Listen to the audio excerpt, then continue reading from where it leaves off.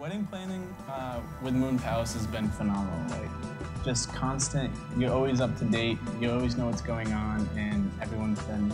They answer our questions before we can even ask the questions Above and sometimes. so. really.